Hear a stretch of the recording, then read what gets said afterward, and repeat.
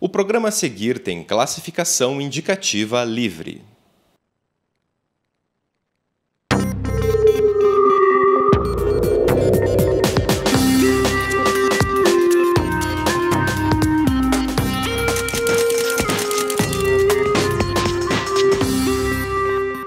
Olá, seja bem-vindo ao FPR Notícias. Acompanhe agora com a gente as informações da Universidade Federal do Paraná. E você já imaginou limpar água dando choques nela? Pode parecer estranho, mas uma pesquisa na UFPR em Palotina está testando a tecnologia e melhorando sua eficiência.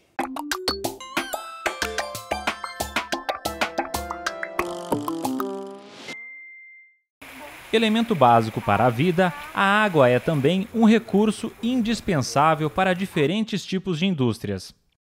Mas nesses processos dentro das cadeias produtivas, a água pode sofrer contaminação e cabe à própria indústria fazer a limpeza dela. A pesquisa do professor Maurício Romani, da UFPR, tem desenvolvido uma tecnologia diferenciada para o tratamento desses efluentes. Mas aqui o processo é um pouco diferente.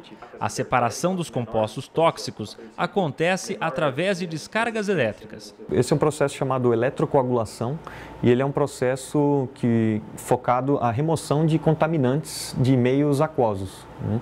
Então, principalmente aí de meios aquosos de efluentes industriais. Neste experimento, duas placas de alumínio são colocadas em paralelo e uma corrente elétrica é aplicada sobre elas. A água contaminada passa a sofrer um processo chamado de eletrólise, ou seja, há uma separação das moléculas de oxigênio e hidrogênio. Isso gera uma coagulação, que carrega para a parte superior do reservatório os contaminantes presentes na água. Apesar da técnica não ser nova, ela foi pouco estudada e não é explorada comercialmente. Um cenário que pode mudar a partir de pesquisas como essa. Está difícil de estimar quanto vai vir na fatura de energia elétrica ainda de uma indústria que venha adotar esse tipo de processo. E isso gera uma né, inibição em relação a esse produto. Então, as pesquisas também estão aí para conseguir suprir esse, né, essa falta aí de, de conhecimento desse, desse processo. Neste estudo, está sendo criado um modelo matemático para descrever o potencial dessa técnica e, a partir dessas medições, melhorar ainda mais a sua eficiência. A partir de simples medições que você consegue com voltímetro e amperímetro realizar, conseguir estimar a performance dessa remoção, você barateia, é, é mais um indício para baratear esse, e tornar esse, essa tecnologia mais competitiva. A Olimpíada Paranaense de Matemática está com inscrições abertas para coordenadores locais. Eles serão responsáveis pela organização e aplicação das provas na primeira etapa da competição realizada nas escolas. Podem se inscrever professores de instituições públicas e privadas e existem três níveis de competição para os estudantes, que contemplam desde o sexto ano do ensino fundamental até o ensino médio. A iniciativa busca premiar e incentivar os estudantes em aprender matemática. No ano passado, a Olimpíada Paranaense recebeu mais de 11 mil inscrições no estado e premiou 136 estudantes. Para mais informações e para fazer a inscrição, basta acessar o site www.mate.fpr.br/oprm. Os servidores da UFPR poderão, nos próximos meses, acompanhar uma série de cursos sobre educação híbrida promovidos em conjunto com a Coordenação de Políticas Públicas da Integração da Educação à Distância, a Pró-Reitoria de Graduação e a Pró-Reitoria de Gestão de Pessoas. A educação híbrida é um conceito de aprendizagem que engloba experiências de aulas presenciais e remotas. Os temas dos cursos abrangem a produção de vídeos interativos, inglês como meio de instrução, entre outros. Podem acompanhar os cursos tanto professores quanto demais servidores da instituição. Para mais informações, acesse o site da Progep e crianças de uma escola infantil receberam ovos de Páscoa durante um culto ecumênico realizado no Hospital de Clínicas. Nessa quinta-feira, o Hospital de Clínicas da UFPR realizou um evento em comemoração à Páscoa. O evento trouxe crianças da comunidade para trazer um pouco de alegria para o ambiente hospitalar. As crianças estudam em uma escola vizinha do hospital e fizeram uma apresentação para celebrar a data.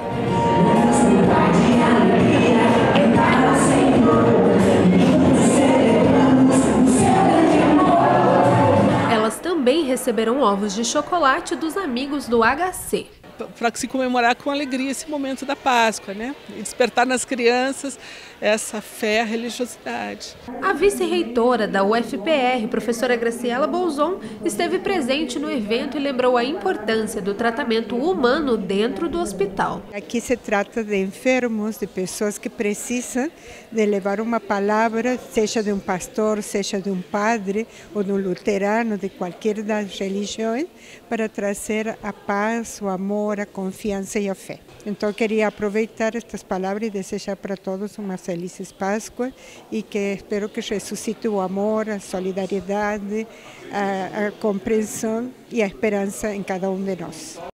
Na última segunda-feira, no dia 15 de abril, um incêndio atingiu a Catedral de Notre-Dame, em Paris. A suspeita é que o fogo tenha começado por causa de obras no telhado da catedral, que foi inteiramente destruído, junto com parte da abóbada e da torre mais alta. No geral, a estrutura do prédio resistiu e a maior parte das relíquias da catedral foram salvas, mas os danos ao patrimônio histórico e cultural são inestimáveis. A Catedral de Notre-Dame foi construída entre os séculos 12 e 14 e foi palco de diversos eventos históricos de Paris e da França, como a coroação de Napoleão Bonaparte e a beatificação de Joana d'Arc. Além disso, ela é um marco da arquitetura gótica medieval e da memória da Igreja Católica. E para falar um pouco mais sobre a importância histórica e cultural da Catedral de Notre-Dame, convidamos a coordenadora de, do programa de pós-graduação em História da UFPR, professora Marcela Lopes Guimarães. Marcela é doutora em História pela Universidade e é especialista em História Medieval. Seja muito bem-vinda, professora. Muito obrigada. Então, para começar, né, a catedral ela é uma construção muito antiga e que marcou a arquitetura gótica medieval. O que, que a estrutura dela pode revelar sobre o período? Em primeiro lugar, eu acho importante a gente conceituar o que, que é uma catedral, né? Uma catedral é a igreja principal de uma diocese. E o que é uma diocese? É uma unidade territorial da igreja. Então, uma catedral medieval, uma catedral gótica, nos remete àquele destino ascensional, vertical. Quando a gente pensa numa catedral gótica, nós pensamos em arcos ogivais, nós pensamos em rosáceas, em vitrais. Aliás, as rosáceas são algumas das peças mais extraordinárias numa catedral medieval, porque ela filtra o sol e produz dentro da catedral efeitos ópticos extremamente interessantes. Isso é o geral, né? Mas cada catedral tem o seu formato, tem as suas especificidades, isso é muito importante. Agora, o que, a catedral revela sobre os modos de viver na Idade Média. Em primeiro lugar, como você falou, ela foi construída entre o século XII e XIV. Nesse período, que é até maior, o período do gótico vai até o século XVI. Uhum. Mas nesse período dos séculos XII, XIII, o que, que isso, o que, que o esplendor do gótico nos revela? Nos revela um período de expansão, de expansão demográfica, de progresso econômico. Uma catedral, para ser construída, mobilizava energia da cidade inteira. Ela não é obra de um setor da sociedade. Então, a catedral fala para nós sobre o mundo do trabalho sobre as corporações de ofício, sobre o trabalho de mestres vidreiros, de mestres construtores. Também fala para nós sobre educação, porque junto à catedral havia escolas catedralícias.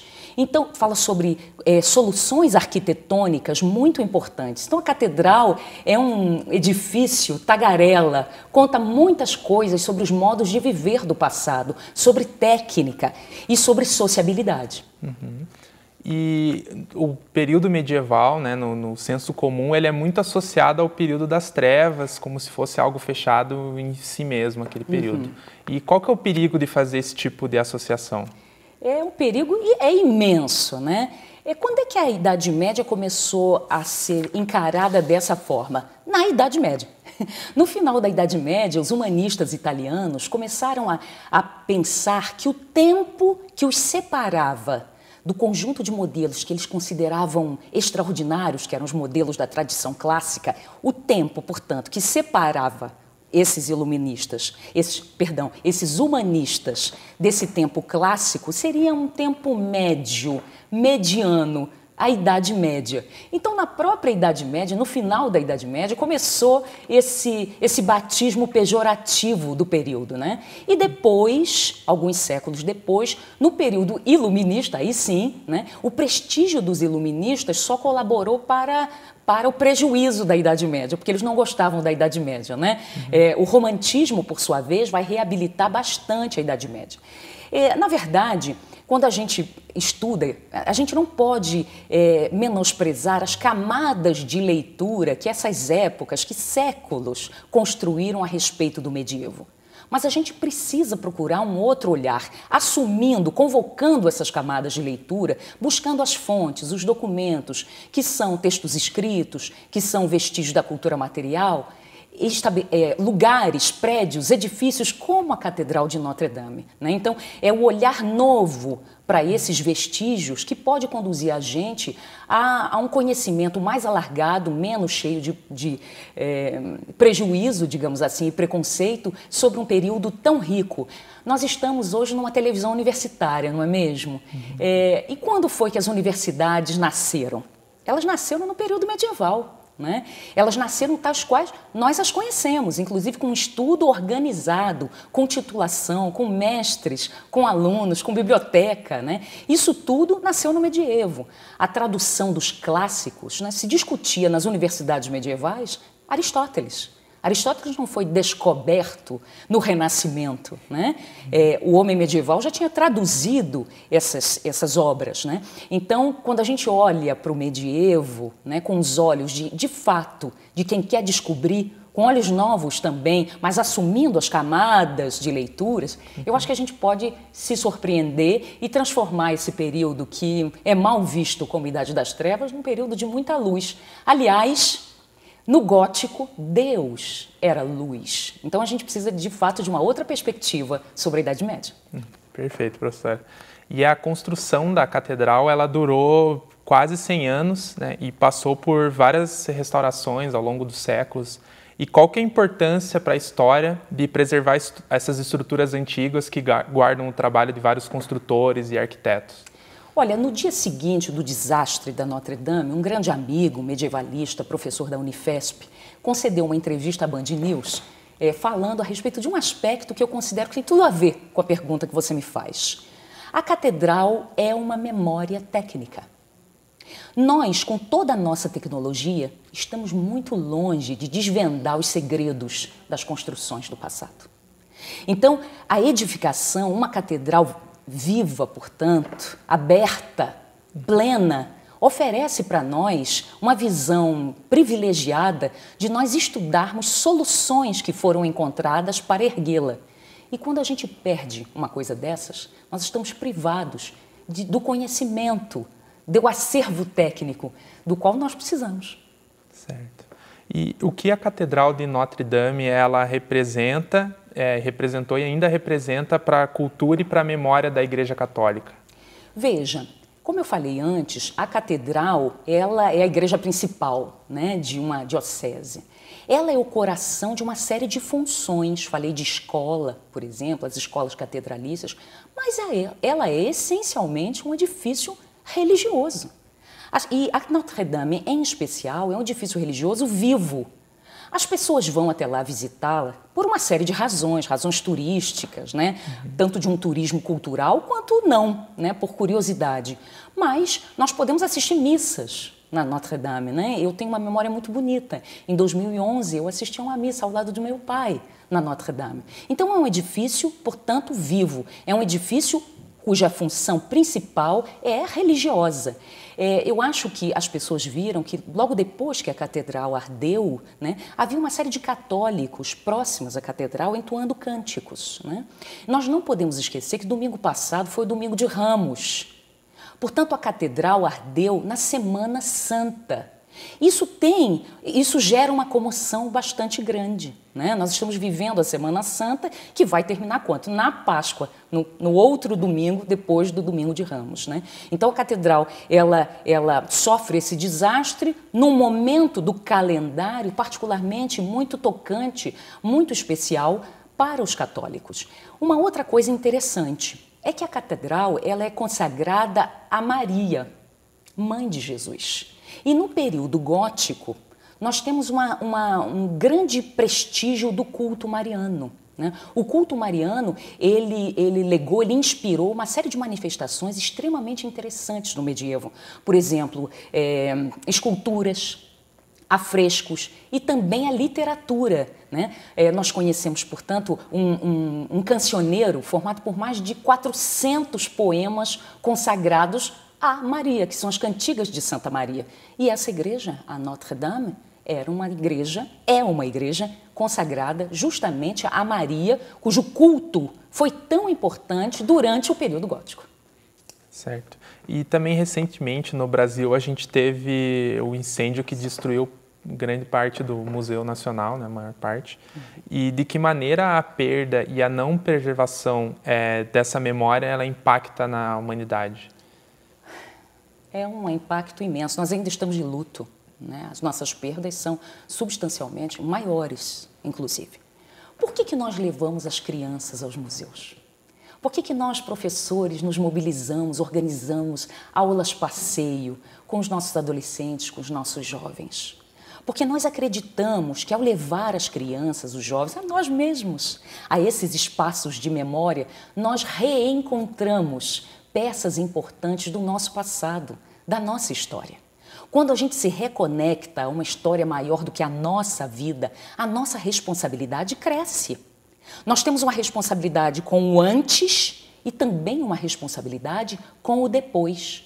A destruição de vestígios nos priva de peças importantes de quem nós somos e inviabiliza ou dificulta a construção, a consolidação de um sentido comum e quando eu falo comum, eu não estou dizendo o ordinário, tá? O sem especificidade. O comum que nos remete à comunidade.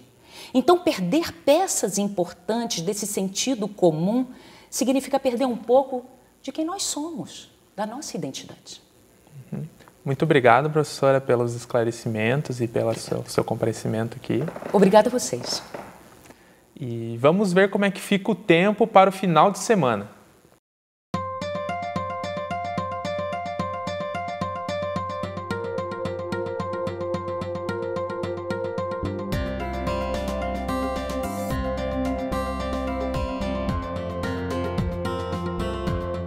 Uma massa de ar mais estável mantém o sol brilhando em todo o estado nesse feriado. Mesmo assim, amanhã começou fria na região de Curitiba, com mínima de 11 graus. No sábado, as temperaturas sobem um pouco, mas há um predomínio de nebulosidade no oeste. Toledo tem máxima de 28 graus e Palotina 31. No domingo, as nuvens avançam por todo o Paraná, mas sem mudança nas temperaturas. Jandaia do Sul tem mínima de 19 e máxima de 27 graus. O feriado de Páscoa vai contar com muitas atrações para quem vai ficar em Curitiba. Confira agora na nossa agenda cultural.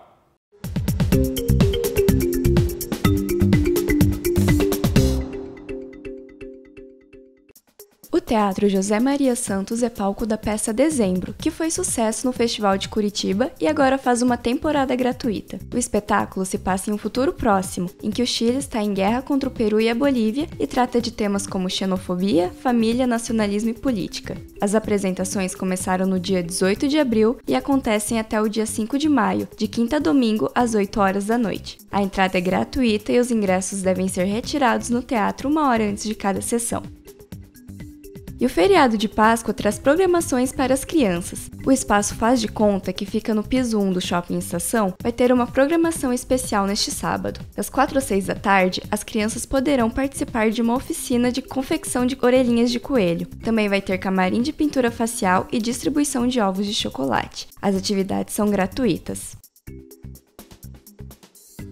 E para quem curte cinema, o Cine Passeio exibe o filme Suprema, um retrato ficcional da juíza Ruth Bader Ginsburg, a segunda mulher na história a integrar a Suprema Corte dos Estados Unidos. O filme retrata as dificuldades de ser uma mulher em um ambiente predominantemente masculino e a luta pela igualdade de gênero. Os ingressos custam R$ 16 e 8 reais de quinta a domingo e R$ 12 e 6 reais nas terças e quartas.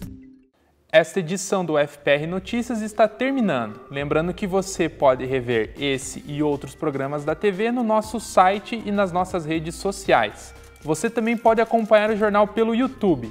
Muito obrigado pela companhia e até a próxima!